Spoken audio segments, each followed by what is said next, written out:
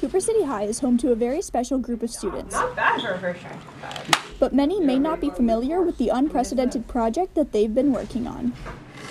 Just so that they're nice and neat. Cooper uh, Crafts is a business that provides innovative craft projects for students, while also helping to spread the cheer that comes with the holiday season. Although they are celebrating the winter delight through their crafts now, Cooper Crafts are available for customers year round, showing their commitment to their art. For CTV News, I'm Casey Chapter.